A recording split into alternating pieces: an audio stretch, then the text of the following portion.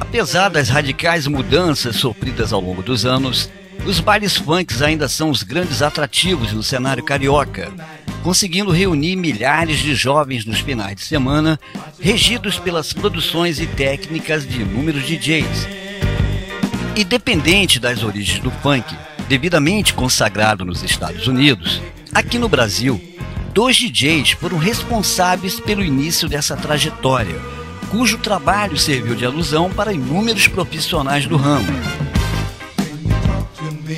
Ademir Lemos, que até então era discotecário de boate, juntamente com o radialista Newton Alvarenga Duarte, mais conhecido como Big Boy, realizaram os primeiros bailes na casa de show Canecão, no Rio de Janeiro, aos domingos, no começo dos anos 70.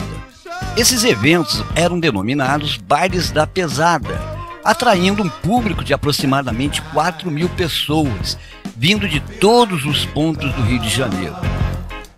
As músicas executadas nos bailes da pesada eram bem atrativas. Tocava-se rock, pop, mas o estilo preferido era o soul music de James Brown e demais cantores do gênero. Com o fim dos bailes da pesada no Canecão, uma vez que a casa resolveu abrir espaço para a MPB, a realização dessas festas foi transferida para os bairros do subúrbio, onde vários seguidores tomaram a iniciativa de montar suas próprias equipes de som, visando assim dar projeção ao que tínhamos de melhor nos lendários bailes da pesada, iniciados por Ademir Lemos e Big Boy. Vários foram os nomes das equipes de som que se multiplicaram nos bares dos subúrbios do Rio, impulsionados pelo trabalho realizado por esses dois profissionais. Tínhamos Black Power, Soul Grand Prix, Atabaque, Equipe Petros, Curte Soul de Mr. Funk Santos, Alma Negra, Equipe Modelo, Cashbox, o som acima do normal, Huracão 2000, Uma Mente Numa Boa, Dynamic Soul, Luizinho Disque Jockey Soul, Apollo e Som, entre outras. Além do surgimento desses equipamentos, tivemos vários nomes representativos em prol dessa verdadeira estrada musical, infelizmente desconhecidos pela mídia e pelos funkeiros de hoje.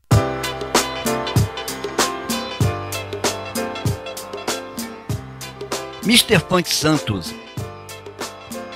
Max Peu, Messier Limar, Samuel, Funk Gil, Tony Minister, Cientista DJ, Dom Filó,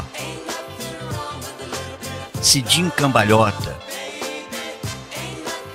vários profissionais também ajudaram a fazer do funk original um dos ritmos mais dançantes nas suas três décadas de existência. Todos nós reconhecemos a essência do verdadeiro valor musical que esses profissionais nos proporcionaram.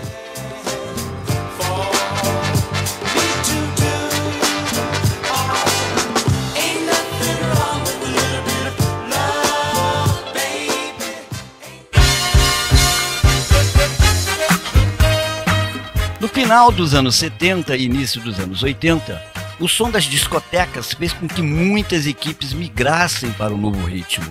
O som da disco music gerou uma avalanche de novos talentos.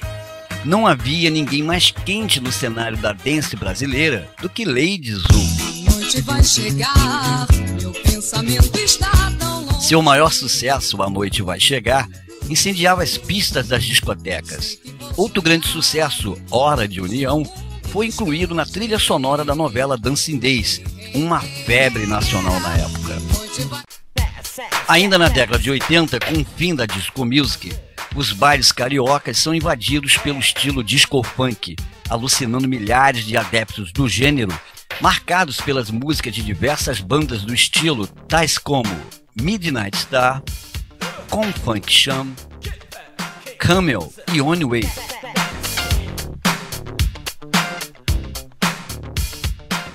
Soul Grand Prix teve grande destaque no cenário do funk carioca, devido ao trabalho cultural no Clube Renascença, assim como a Cashbox no Clube Magnatas. O cenário musical dos bares do Rio de Janeiro ainda era mantido. A boa música prevalecia. Novas equipes surgiam e os equipamentos não deixavam de acompanhar a evolução da tecnologia sonora. Pop Rio, Cashbox, Rock in Concert, Furacão 2000, Crazy Music, Hollywood Discotheque, Cassino Disco Club, Live o Som da Massa, Signos, Inflamação, Curte Som Rio, Peoples e muitas outras equipes constituíram o maior arsenal sonoro que o mundo do verdadeiro funk pôde registrar. A trajetória do funk ainda é marcada pela presença de inúmeros MCs produzidos por vários DJs e equipamentos de som da época.